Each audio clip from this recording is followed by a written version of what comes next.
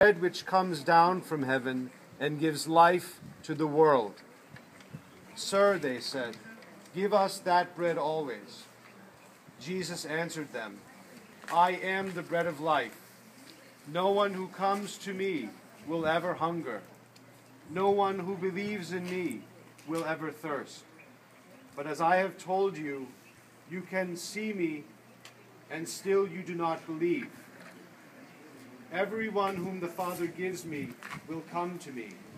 I will certainly not reject anyone who comes to me, because I have come from heaven not to do my own will, but to do the will of him who sent me.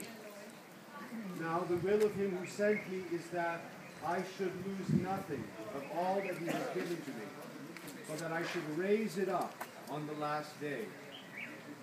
It is my Father's will whoever sees the Son and believes in him should have eternal life, and that I should raise that person up on the last day. Meanwhile, the Jews were complaining to each other about him, because he had said, I am the bread that has come down from heaven. They were saying, Surely this is Jesus, son of Joseph, whose father and mother we know. How can he now say, I have come down from heaven? Jesus said in reply to them, Stop complaining to each other. No one can come to me unless drawn by the Father who sent me, and I will raise that person up on the last day. It is written in the prophets, they will all be taught by God. Everyone who has listened to the Father and learnt from him comes to me.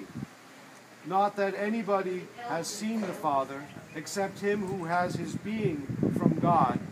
He has seen the Father. In all truth I tell you, everyone who believes has eternal life. I am the bread of life. Your fathers ate manna in the desert, and they are dead. But this is the bread which comes down from heaven, so that a person may eat it and not die. I am the living bread which has come down from heaven. Anyone who eats this bread will live forever. And the bread that I shall give is my flesh for the life of the world. Then the Jews started arguing among themselves How can this man give us his flesh to eat?